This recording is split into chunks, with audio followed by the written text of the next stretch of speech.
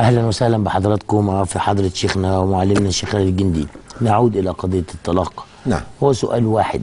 كيف نستطيع أن يتحول بنا الأمر إلى فعل؟ أن نحول هذه الكلمة إلى لا لا, لا يعني ملهاش حكم خالص. ده يقدر نقدر نوصل له يا شيخ خالد؟ الحقيقة لا أنا مش لا أتمنى إن إحنا نوصله يعني أنا لا أتمنى إن الناس كلها تلتزم بالرأي اللي بقوله. لأنه هذا الكلام فيه افتئات على المجتمع وفي نوع من أنواع السلطوية المرفوضة. أنا رافض إن أنا أكون السلطان الآمر بأمره اللي بي... اللي, اللي, اللي, الفتوى المجتمع كله بيسمع كلامه. بيقول للعز بن عبد السلام. نعم. دي مش فتوى. نعم. دي مش فتوى هنلتزم بيها.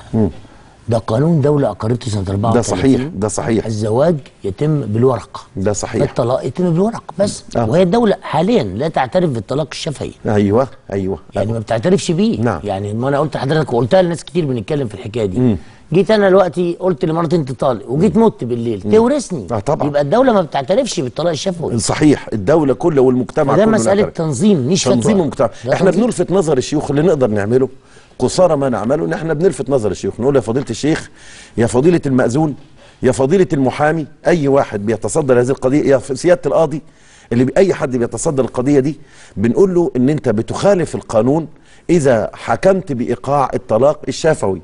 لأن الحكم بإيقاع الطلاق الشفوي إهدار للعقد الرسمي. يبقى في عقد رسمي وكلام بقيقي بالبلدي كده. الكلام البقيقي الكلام الشفوي. أهدر الوثيقة الرسمية اللي عليها ختم النسر. عشان كده أنا كنت بقول للناس ممازحا بضحك. وأرجو إنهم ما ياخدوهاش كأني بتهكم يعني. بقول لهم ما اجتمع زوج وزوجة إلا وكان النسر ثالثهما. طبعا. طالما في نسر إحنا آه. بنتكلم. علشان كده أنا بنبه للناس وأقول لهم حاجتين اتنين. حاجتين اتنين. أصل إنه في الحلقة في مرة واحد دخل أخ سعودي له كل الاحترام والتقدير. قلت له لا أنت خد بالك في حاجتين. الكلام ده بنتكلم على فقه المصريين. حتى الكتاب نازل كده فقه المفوق كتاب كده فقه مين؟ المصريين.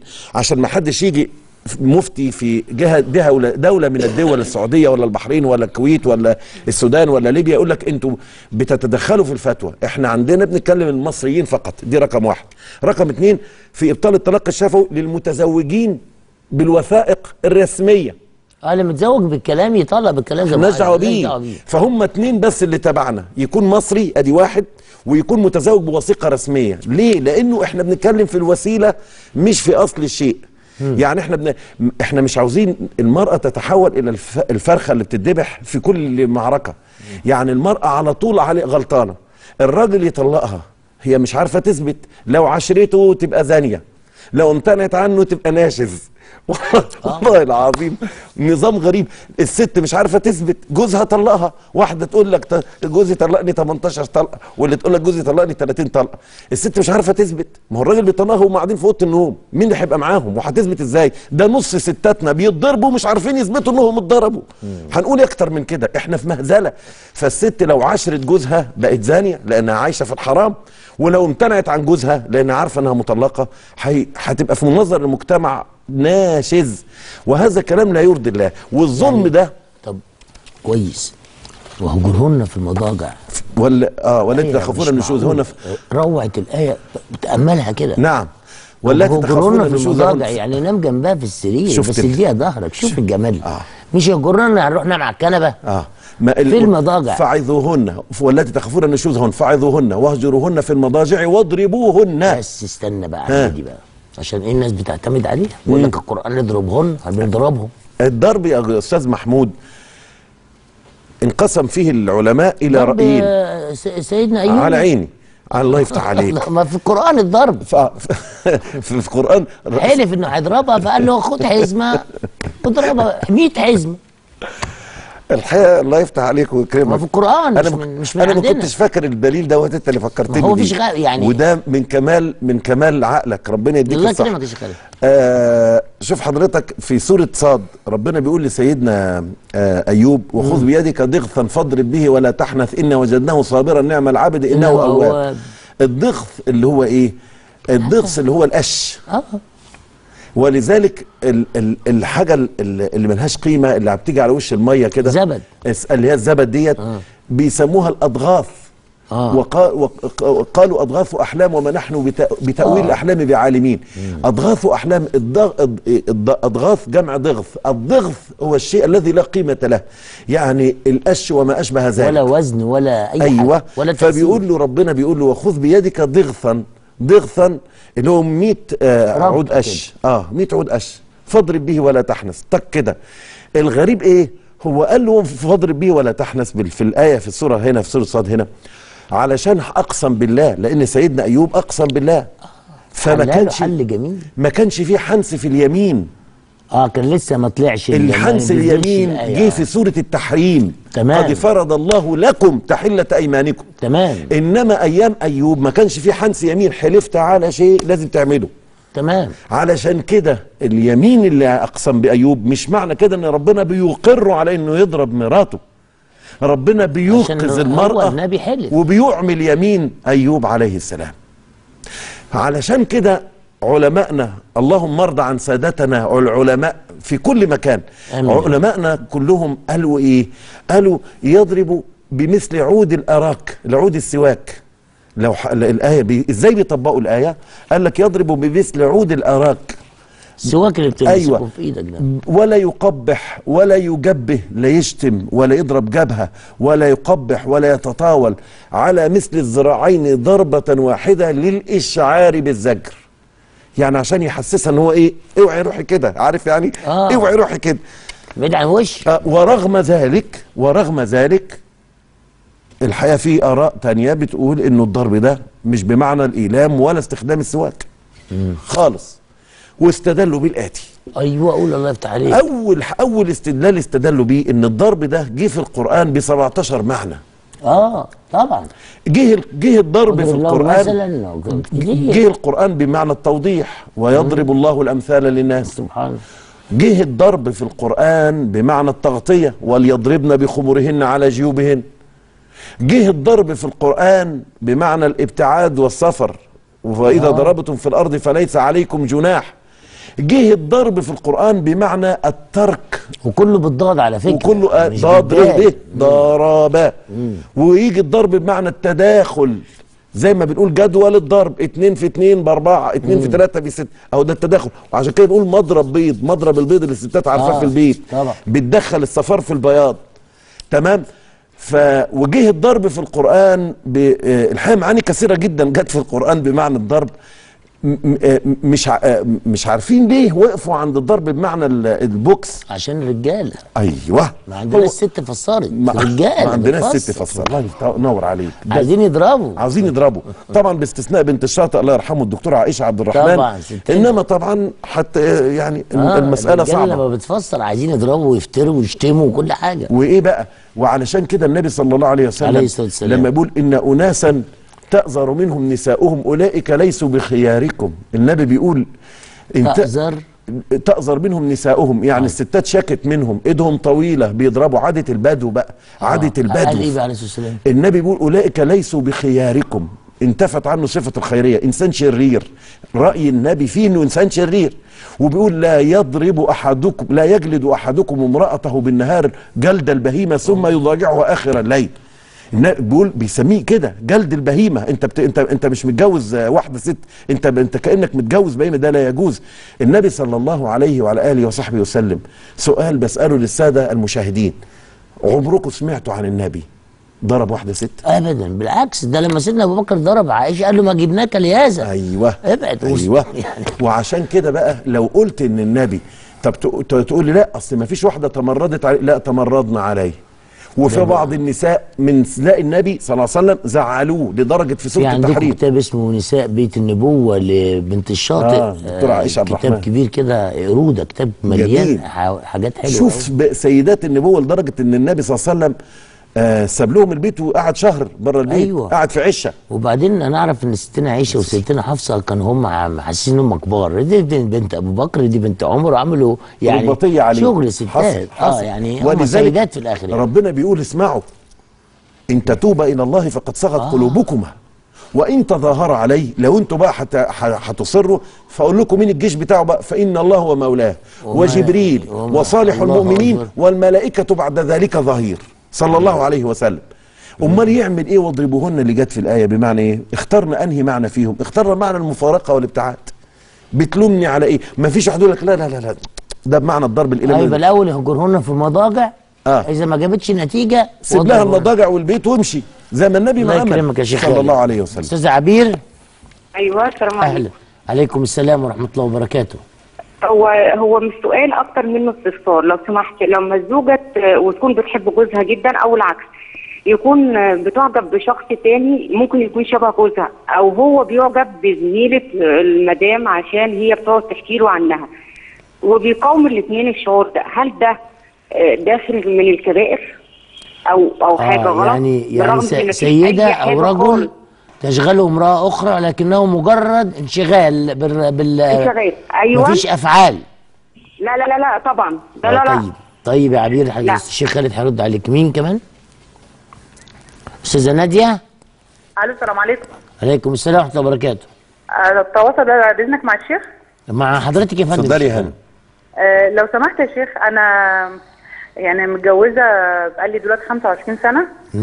آه، جوزي أكبر مني ب 30 سنة. إحنا خلفنا ولدين آه، هم دلوقتي في الجامعة في السنوات الأخيرة. آه، حصل طلاق آه، مرتين على مأذون. وبعدين إحنا دايما بيحصل مشاكل ما بيننا وكده لدرجة إن هو يوصلني إن أنا دايما أطلب منه الطلاق. وبعدين في الفترة الأخيرة ديت هو كان حصلت مشكلة ما بينه وبينه فقال أنت في حكم مطلقة. فأنا بقول له ما فيش حاجة اسمها في حكم مطلقة. قال لي طب طالق طالق طالق ثلاث مرات. آه ومشيت وسبت البيت قعدت بره البيت حوالي شهرين ونص وبعد كده يعني في ناس تدخلت ورجعنا تاني آه وبعد كده قال لي بقى إن أنا ما كنتش أصلا أقصد الطلاق ده أنا كنت بقصد إن أنا مثلا أضايقك أو حاجة زي كده لحد برضه ما سمعنا إن حضرتك على موضوع الطلاق الشفوي والكتاب اللي حضرتك نزلته وجبناه يعني وكده بس فأنا عايزة أطمن برضه طيب يا أستاذة. نادية تسمعي ما يرضيك من الشيخ خالد إن شاء نعم. الله ناخد التليفونين دول نرد على عبير بتتكلم في نقطة كويسة. قوي م- الشغال العقلي. هو عجبها واحد راجل مثلا أو لا مش عجبها هي يعني ممكن أي ست وأي عجبها راجل. واحد راجل أيوة. راجل عجبته ست؟ مم. وده بيحصل كتير جدا لما يكون الأسرة قاعدة بيشوفوا فيلم سينمائي أو مسلسل تلفزيوني البطل مثالي في تعامله لزوجته فالزوجة بتتمنى مثل هذا الزوج وزوجها قاعد جنبيها لا مش بيهدئ. بنتكلم في ده. نعم. هو حسنين صاحب جوزها عجبها. وانشغلت بيه. آه ما أنا بعمم أو آه، هدى لا أنا بغبك هدى صاحبة آه، عجبتني صاحبة مراتي. عجباني. آه تمام. مش ممثل. شوف حضرتك آه من رحمة الرحيم سبحان إنه لا يؤاخذك بالخواطر وإلا كنا كلنا رحنا في داهية. في ستين. من رحمة الرحيم. والله لو خلقت القلوب من زجاج لتدافع الناس وتقاتلوا. لأنه هو ربنا سبحانه وتعالى اللي بيستر القلوب.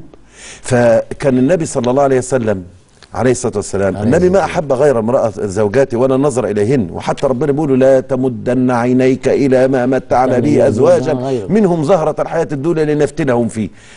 النبي عليه الصلاة والسلام في العدل ما بين زوجاته والقسم بينهم كان يقول اللهم إن هذا قسم فيما أملك فلا تحاسبني فيما أملك. إني بحب واحدة أكتر من واحدة. أهو قال عائشة ويعني تمام. بس ده ما بي- بيجيش ما بياخدش حق واحدة تانية. ولكن ورد في الحديث أن الرجل إذا نظر إلى ما يسره أو إذا نظر إلى امرأة سرته في نفسه ورجع وأتى أهله إلا غفر الله له. لو الواحد صرف طاقته في الحلال الذي أحله الله. آه زي محمود عبد العزيز في فيلم جري الوحوش قال لك أنا بسخن يقعد يعكس الستات. آه، تحية لنجمنا الكبير محمود عبد العزيز آه. فهو الحقيقة إن الواحد لو حصل له سلام من- يا شيخ خالد نعم. يعني لو أنا شفت ست عجبتني آه ورحت لو ده- قلت لمراتي بحبك وإزيك آه. وجبت لها حاجة حلوة وبتاع، هو ده بقى ترجمة اخد حسنة. ترجمة آه بالظبط ترجمة هذه ال- الأهواء إلى طاعة. تحويل الأهواء إلى طاعة لله عز وجل. تحويل الأهواء إلى عبادة يرتجى فيها مرضاة الله عز وجل. أما واحد آه يشوف واحد آه يعني بي بي بي بيعامل زوجته بحنان ولا بحب ويروح يطبق ده مع زوجته. لما واحد يشوف واحدة جميلة ويروح يقبل زوجته طب ويطبطب وإذا عليها. شغلتني المرأة أو شغلها الرجل آه. يعني فضل في ذهنها شهر اتنين تلاتة أي حاجة هي مش مسؤولة. إحنا بقى كلها مواعظ. هتسمع مني مواعظ. المواعظ دي الله يكرمك. الله يخليك. أنا أنا. المواعظ. إنه يحاول إنه يبعد الصلة بهذا الشخص. علشان ما يحاولش إنه يوقعه في براثنه الأمور ما تتطورش. الأمور ما تتطورش. لأنه خلاص بقى ضعيف قصاد شهر أنا بحب في واحدة عجبتني أبعد عنها أبعد أتخذ قرار إن أبعد عنها بأي طريقة ان استطعت. بقى. أحمي نفسي بقى. أغض بصري أتقي الله عز وجل. ربنا قال إيه؟ واستعينوا بإيه وبإيه؟ بالصبر والصلاة. إذا كان الشاب اللي مش متزوج الرسول لم يصرح له صلى الله عليه وسلم بارتكاب أي حماقة إنما قال فعليه. بالصوم فإنه له وجاء. فمن لم يستطع فعليه بالصوم اقتراح النبي الانشغال بشيء آخر. فباجي للشاب اللي مش متزوج وشباب كتير جدا. بالملايين أجي أقول له إيه بقى؟ عليك ب اقرا جزء قران كل يوم حافظ على الصلاة في, في أول الوقت في المسجد غض بصرك العب رياضة عليك بأصحاب السوق آه، بأصحاب الخ... يبوظوا لك كل اللي فات. عليك بأصحاب السوق. يبوظوا لك كل اللي عملته الصوم والرياضة وكله. فطبعا إيه اللهم احفظنا من أصحاب السوء. فعلى الإنسان إنه يختار خيارات بديلة. اشغل نفسك. أنا بقول لحضرتك إن الانسانه عليها النتيجه طب افرض بقى حصل ما فيش فايدة عمل كل ده ولسه عليها مشغول بحد. ده ده خارج عن إرادتك. ده لا يكلف الله نفسا إلا وسعها. قال صلى الله عليه وسلم قلوب العباد بين إصبعين من أصابع الرحمن. يقلبها كيفما شاء. فما فيش حد له خاطر في حاجة. هنا بقى ما نقدرش. الحب ما عليهوش. ملام زي ما بيقولوا أو حب ما عليهوش بريك ما فيش فرامل. ما فيش حاجة تقدر تقفل محابس بس القلب. نبعد شوية عشان خاطر خطر. سيدنا الإمام الشافعي بيقول إيه؟ إن القلوب إن العيون على القلوب لواحظ وشهيدها لك بين وبغيضها وإذا تحدثت العيون تفاوضت وتحدثت عما تكن قلوبها. ينطقن والأفواه صامتة فما يخفى عليك بريئها ومريبها. والله عاشق. والله ما الله الكلام ده. عاشق. صحيح. طيب الأستاذة نادية بت- طلقت بقى هي الحمد لله رب العالمين إن التالتة دي كانت شفوي. وكرم ربنا كمان إن الزوج نفسه أقر وقال يا جماعة. أنا لا أقصد ولا بتاع. والمولى سبحانه وتعالى في دينه رحابة وسعه ويسر وسهولة. والحمد لله اللي جعل لنا فتوى ترجع الناس لبعضيها وتمنع خراب البيوت. الحمد لله اللي خلى من أمة الإسلام من يمنع خراب البيوت. فطبعا أنت على حق والحمد لله. أي طلقة شفوي لا قيمة لها. لازم زي ما اتطلقتي إيه، إحنا بنتكلم اتنين. بنتكلم المصريين أدي واحد. وبتكلم المتزوجين عندي واحد اسمه المأذون. بس أيوة. عشان نبقى واضحين. طيب يا نادية أنا أتمنى لك أيام سعيدة. مدام نادية الأستاذة شيماء. أيوه. أهلا وسهلا. مساء الخير يا أستاذ محمود. مساء الفل يا فندم الشيخ خالد مع حضرتك. تمام. آه، ازي حضرتك يا شيخ خالد؟ أهلا يا بنتي أهلا وسهلا. آه، الحقيقة أنا كنت عايزة أسأل حضرتك في حاجة. هي غريبة بس مش عارفة حضرتك هتقول لي إيه. آه، أنا متجوزة بقالي حوالي 19 سنة و... وعندي أولاد. بس بقالي حوالي سنتين مفيش أي حاجة بيني وبين زوجي. في فتور وجفاء وكل ده طبعا كان بسبب يعني الواحد مكسوف برضو أتكلم في حاجة زي كده بسبب السياسة بسبب إيه؟ السياسة. السياسة آه. آه، طبعا ال- الحاجات دي وليه مكسوفة. تقولي حاجة زي كده؟ السياسة حاجة قبيحة. لا مش حكاية كده يا أستاذ محمود بس آه، يعني حاجة تكسف برضو إن البيت يتهد أو يتخرب بسبب سياسة وبسبب مين مع مين ومين ضد لا، مين ده ومين- في ده, ده في عشان الأهلي والزمالك. آه. آه. فطبعا ال- العلاقات ال- الحياة بقت روتينية بقينا بعيد عن بعض بقى البيت عامل زي اللوكاندا ده اللي طالع ده داخل ده نازل ده الحياة ماشية عادية وعملية جدا ومفيش إحساس بالست اللي قاعدة في البيت دي خالص. بعمل كل اللي عليا بشوف طلبات ولادي بروح شغلي برجع بقعد وفي فتور مش طبيعي وبعد على طول. وفي آخر فترة طبعا كل واحد بقينا منفصلين تماما. ولما جيت اتكلم في حكم الشرع وحكم الدين في الموضوع ده طبعا هو رافض موضوع الطلاق خالص. إيه، رافض موضوع الطلاق. هو رافض عشان بيقول إن أنا اللي بهد البيت. أنا ما بهدش البيت. البيت كده كده مهدود. وبعدين أنا مش فاهمة معنى كلمة هد البيت. هل دي حياة إحنا عايشينها كده مظبوطة؟ هل ده صح؟ وأنا خلاص ما بقاش عندي أي قابلية. أنا مش عارفة أفكر. مش عارفة أفكر بس أنا ثابته على القرار ده. طب يعني ما. تقدروش تعمل يعني السياسة متغيرة ومتقلبة. ما تقدروش تعملوا يعني لقاء تتناقشوا فيه كده توصلوا لحلول وسط. يعني السياسة دي يعني لا لا. تفسد العواطف. لا خالص يا أستاذ محمود لأن كل يعني هو ثابت على رأيه تماما. وأنا حتى ب... يعني بطلت أتناقش بطلت أعمل مشاكل بطلت أرد بقيت أبعد خالص. حتى هو مثلا لما يكون فاتحه التلفزيون يقول أنا مش هتفرج على الحاجات دي أنا مش هسمع الحاجات دي. يقوم واخد بعضه ونازل. أفضل أنا قاعدة لوحدي. حضرتك عارف المواقف اللي بتبقى متتالية دي في الحياة؟ كل يوم كده كل يوم كده. أنا يعني أنا أنا فهمت. أنت إيه وهو إيه. عندي إحساس كده بس مش هقول أنا بابايا ظابط. امم أنا بابايا ظابط جيش. بس كده. حاجة عظيم خلاص. الجيش حاجة عظيمة. ودي حاجة وحشة نعتبره بلاغ. رسمي. حضرتك المكالمة دي نعتبرها بلاغ رسمي. طيب يا سيدي استاذه شيماء. أستاذة رجاء. السلام عليكم. عليكم السلام ورحمة الله وبركاته. لو سمحت عايزة أسأل الأستاذ خالد سؤالين. الشيخ؟ مع حضرتك يا فندم. طيب أهلا وسهلا سيدنا الشيخ. مرحبا بيك يا فندم. مرحبا. أنا كنت متجوزة وجوزي قال لي أنت طالق بالتلاتة. نعم. وبعدين سكتنا على إنه هيطلقني. فمفيش قعد بتاع حوالي سنة آه، طلقني يا ابني طلقني يميس ويميس وبعدين إيه ما ما طلقنيش. عشان إيه؟ عشان ما يدفعش ال- المؤخر. فانا رحت عاملة عليه خلع. وبعدين آه، عملنا جلسات ورحت قابلت القاضي اللي هو في المحكمة الأسرة بتاعت الأسرة وقال لي كلام وقال لي قولي ورايا. انت مش هتاخدي حاجتك؟ قلت له ما أنا عارفة أنا جاية عشان أخلص يعني.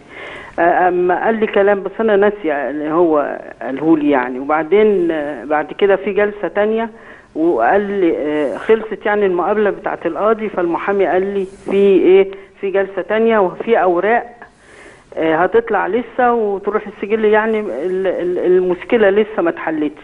فأنا بسأل حضرتك هل هو دلوقتي أنا آه، هو لي عليا حق أو أنا يعني له حق عليا كزوج يعني؟ الحكم صدر بتاع الخلع يا أستاذة؟ الحكم هو ما صدرش رسمي. آه تمام. يعني الأوراق ما خدتهاش. تمام. آه فهو يعتبر له حق عليا. آه تمام. شكرا مثلا في. التصرف. طيب يا استاذه رجاء مدام رجاء الشيخ خالد حضرتك حضرتك. سؤال سؤال آه، لطيف جدا. آه م- بس نرد على الأخت الم 19 سنة. شيماء، آه. آه 19 سنة جواز اللي هو الخلاف. السياسي. هو الحقيقة التصدع ده حصل عندنا في الشارع المصري لأن إحنا ما كناش عندنا ضربه في السياسة كناش نفهم حاجة في السياسة. فطارق جه دخل علينا انقسمنا بطبيعة الحراك السياسي. ابن أختك؟ لا طارق الذكر. انقسمنا ناس مع وناس ضد ناس قالت آه وناس قالت لا ايا كان الاتجاهات اللي اختارها أي إنسان هو حر. إنما الحياة خدت عندنا شكل أكثر حدة وعنف. فلقينا كل أسرة فيها واحد مايل لاتجاه والتاني مايل لاتجاه صحيح. وبدأ الشجار حتى وصل لأسر وكذلك.